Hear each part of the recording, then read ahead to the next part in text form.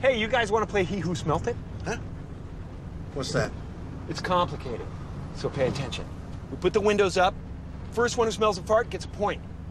If you say who dealt it, double points. But if you say you smelled a fart and nobody farted, like if we were just passing a slaughterhouse, False fart. you lose a point. And you can't smell your own farts either. What are you guys kidding? No. No. I'm not gonna sit around sniffing your guys' farts like some kind of truffle pig. Forget it. Hmm. Okay, fine. Lloyd and I'll play one on one. Yeah, head to head. How can you play one on one? If you smell a fart and you didn't do it, isn't it obvious the other guy did? I thought you said you never played before. Yeah, sounds like he wrote the rule book. I think we might have a hustler here, here. Uh,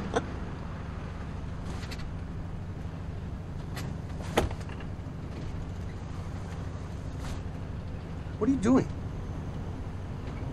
I forgot. All right, you know what? I'm gonna make a rule. There will be no fart games while I'm in the car. Got it? wow.